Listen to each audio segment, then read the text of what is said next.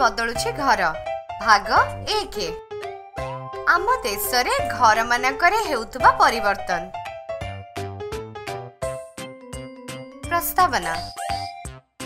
ଏହି ଭିଡିଓରେ ଆମେ ଦେଖିବା ଆମ ଦେଶର ଘର ବା ହାଉସେସରେ କଣ କଣ ପରିବର୍ତ୍ତନ ହୋଇଛି। ଝିଆର ଅଜା ଆଜିକାଲି ତା ଘରକୁ ଆସିଛନ୍ତି। ଅଜା ପ୍ରତିଦିନ ଜିଆକୁ କିଛି ନୂଆ କଥା କହୁଛନ୍ତି। ଏଥିପାଇଁ ଜିଆ ଆଜିକାଲି ବହୁତ ଖୁସି। କିନ୍ତୁ ଆଜି ଜିଆ ବହୁତ ଉଦାସ ଅଛି। ଆଉ ଜିଆକୁ ଉଦାସ ଦେଖି ବୋବୋ ବି ଚୁପଚାପ ବସିଛି। ଆରେ ଜିଆ କ'ଣ ହେଇଛି? ଏମିତି ମନ ଦୁଃଖ କରି କାହିଁ ବଇଛୁ? ଆଜି ସାଙ୍ଗମାନଙ୍କ ସହିତ ଖେଳିବାକୁ ଯିବୁନି କି? ଅଜା ବାପାଙ୍କ ବଦଳି ଆଉ ଗୋଟେ ସହରରେ ହୋଇଯାଇଛି। ଏଥିପାଇଁ ଆସନ୍ତା ମାସରେ ଆମକୁ ଏ ଘର ଛାଡ଼ି ଆଉ ଗୋଟେ ଘରକୁ ଯିବାକୁ ପଡ଼ିବ। ସେଉଠୁ କ'ଣ ହେଲା ଜିଆ? ତମେ ତ ସେଠି ଗୋଟେ ନୂଆ ଘରେ ରହିବ ନା? କିନ୍ତୁ ଅଜା ମୋର ତ ସବୁ ସାଙ୍ଗ ଏଠି ଅଛନ୍ତି। ମତେ ସେଇ ନୂଆ ଘରେ ଜମାରୁ ଭଲ ଲାଗିବନି। କଣ ତମକୁ କେବେ ତୁମ ନିଜ ଘର ଛାଡି ନୂଆ ଘରକୁ ଯିବାକୁ ପଡିଛି କି? ଘରକୁ ଛାଡିବା ସମୟରେ ତୁମକୁ କିପରି ଅନୁଭବ ହୋଇଥିଲା? ଆଚ୍ଛା ତ ଏମିତିକା କଥା। ତୁ ଜାଣିଛୁ ଜିଆ ମୋ ଜନ୍ମ ଲାହୋରରେ ହେଇଥିଲା ଯାହା ଆଜି ପାକିସ୍ତାନରେ ଅଛି। ଲାହୋରରେ? ଅଜା ତାହେଲେ ତମେ ଏଠିକି କେମିତି ଆସିଲ? ଜିଆ ଯେବେ ଆମ ଦେଶ ବିଭାଜନ ହେଇଥିଲା ସେବେ ବହୁତ ଲୋକ ଭାରତରୁ ପାକିସ୍ତାନ ଆଉ ବହୁତ ଲୋକ ପାକିସ୍ତାନରୁ ଭାରତ ଆସିବାକୁ ପଡ଼ିଥିଲା। ମୋତେ ବି ମୋର ମା ବାପାଙ୍କ ସହିତ ଆମ ଘର ଛାଡ଼ି ଦିଲ୍ଲୀ ଆସିବାକୁ ପଡ଼ିଥିଲା।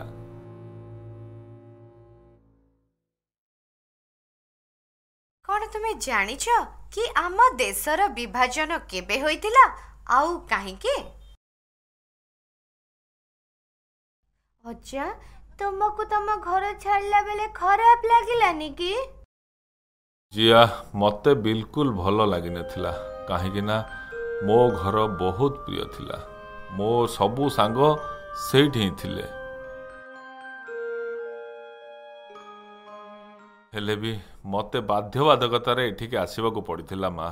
ତ ତମେ ଲାହୋରରୁ ଦିଲ୍ଲୀ ଯାଏ କେମିତି ଆସିଲ?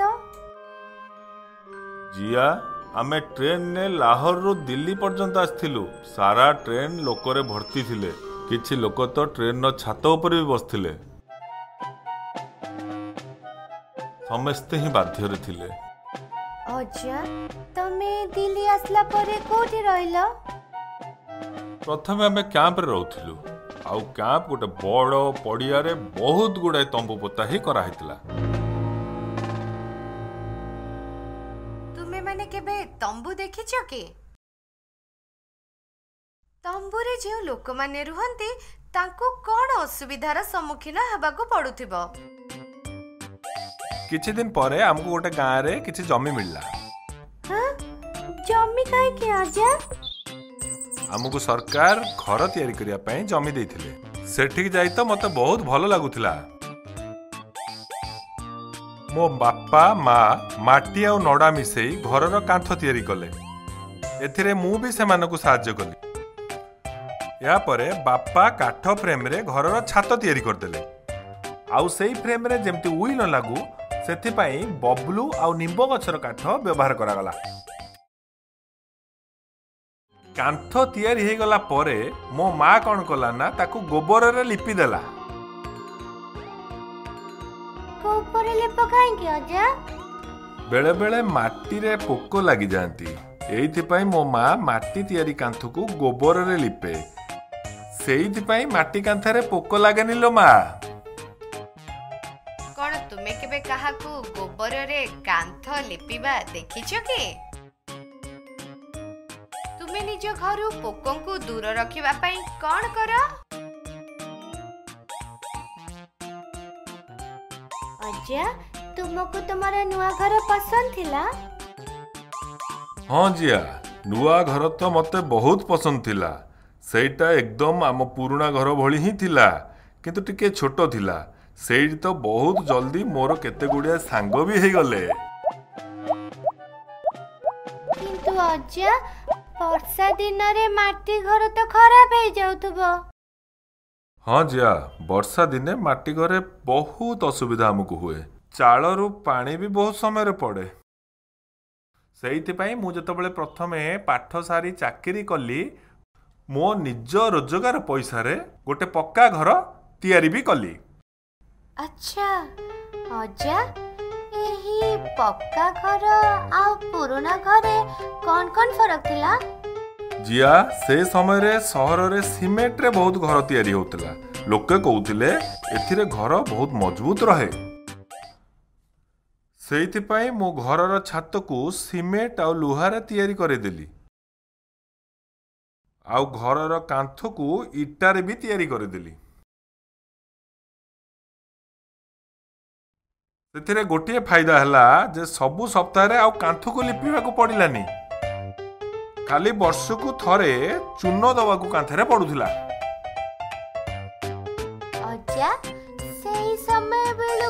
ତମର ଆଉ ବାହାଘର ହେଇଯାଇଥିଲା କି? ହଁ ହଁ ଜିଆ। ବାହାଘର ପରେ ତୋ ଆଈ ଆଉ ମୁଁ ସେଇ ପକ୍କା ଘରେ ହିଁ ରହୁଥିଲୁ। ତୋ ଆଈ ଚୁଲିରେ ରୋଷେଇ କରି ଆମକୁ ସବୁ ଖାଇବାକୁ ଦଉଥିଲେ। ଆଉ ଆମେ ଏକାଠି ବସି ହିଁ ଖାଉଥିଲୁ ସବୁବେଳେ। ତୁମ ଘରେ ଖାଇବା କେଉଁଥିରେ ତିଆରି କରାଯାଏ? ଚୁଲିରେ? ଗ୍ୟାସରେ? ନା ଆଉ କିଛି? ଆମେ ଘରେ ହିଁ ଗୋଟେ ଶୌଚାଳୟ ତିଆରି କରିଥିଲୁ। ଯାହାକୁ ସଫା କରିବାକୁ ଗାଁରୁ କିଛି ଲୋକ ଆସୁଥିଲେ। ସେମାନଙ୍କୁ ଘରର ଅନ୍ୟ କୌଣସି ଜାଗାକୁ ଯିବାକୁ ମନା କରାଯାଉଥିଲା। ଜିଆ ସେ ସେତେବେଳର ଗୋଟେ ପ୍ରଥା ଥିଲା ଯାହାକୁ ସମସ୍ତଙ୍କୁ ମାନିବାକୁ ପଡୁଥିଲା। ତୁମକୁ କଣ ଲାଗୁଛି? ସଫା କରୁଥିବା କର୍ମଚାରୀ ମାନଙ୍କ ସହିତ ଅଜାଙ୍କ ଘରେ ଠିକ ବ୍ୟବହାର କରାଯାଇଥିଲା? ତୁମେ କେବେ ଅନ୍ୟ କେଉଁ ଜାଗାରେ ଏପରି ହେବା ଦେଖିଛ କି? ତୁମ ଘରେ ଶୌଚାଳୟ ଅଛି କି ତାକୁ କିଏ ସଫା କରେ ଅଜା ଇଟାରେ ତିଆରି କାନ୍ଥ କେବେ ବି ଖରାପ ହୁଏନି କି ଜିଆ କଞ୍ଚା ଇଟାରେ ତିଆରି ହେଇଥିବା ଘର କିଛି ବର୍ଷ ପରେ ନିଶ୍ଚୟ ଖରାପ ହେଇଯାଏ ସେଇଥିପାଇଁ ମୁଁ କିଛି ବର୍ଷ ପରେ ଆମ ଘରକୁ ପକ୍କା ଇଟାରେ ତିଆରି କରିଦେଲି ଚଟାଣରେ ମୁଁ ମାର୍ବଲ ବି ପକେଇଦେଲି। ଟଏଲେଟକୁ ମୁଁ ଏମିତି ଭାବରେ ବନେଇଲି ଯେ ସବୁ ଆବର୍ଜନା ପାଇପ୍ ବାଟ ଦେଇ ବାହାରକୁ ପଳଉଥିଲା।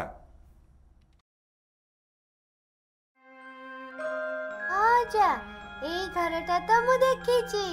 ସେଇଟା ତ ବହୁତ ସୁନ୍ଦର। ହଁ ଜିଆ ଏଇ ଘର ସତରେ ବହୁତ ସୁନ୍ଦର ଥିଲା। କିନ୍ତୁ ଆଜିକାଲିର ସହରର ଉଚ୍ଚା ଉଚ୍ଚା କୋଠା ଘରର ବି ଜବାବ ନାହିଁ ରେ ଜିଆ। ସେଗୁଡ଼ିକ ଦେଖି ତ ମୁଁ ଆଶ୍ଚର୍ଯ୍ୟ ହେଇଯାଉଛି। ସମୟ ସହିତ କେତେ ସବୁ ବଦଳି ଗଲାଣି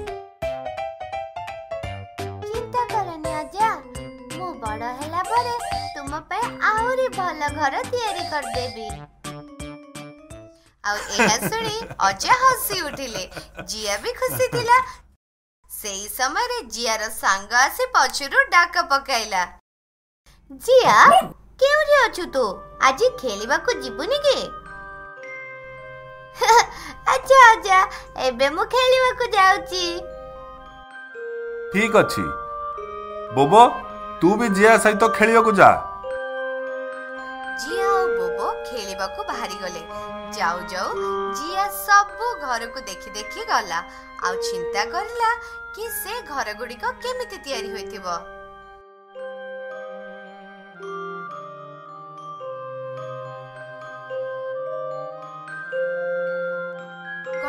ଜାଣିଛ କି ତୁମ ଘର କେଉଁ କେଉଁ ଜିନିଷରେ ତିଆରି ହୋଇଛି? ତମେ ବଡ ହୋଇ କେମିତିଆ ଘରେ ରହିବାକୁ ପସନ୍ଦ କରିବ? ସାରାଂଶ। ଏହି ଭିଡିଓରେ ଆମେ ଦେଖିଲୁ କି ଆମ ଦେଶର ଘର ଗୁଡ଼ିକରେ କଣ କଣ ପରିବର୍ତ୍ତନ ହେଲା।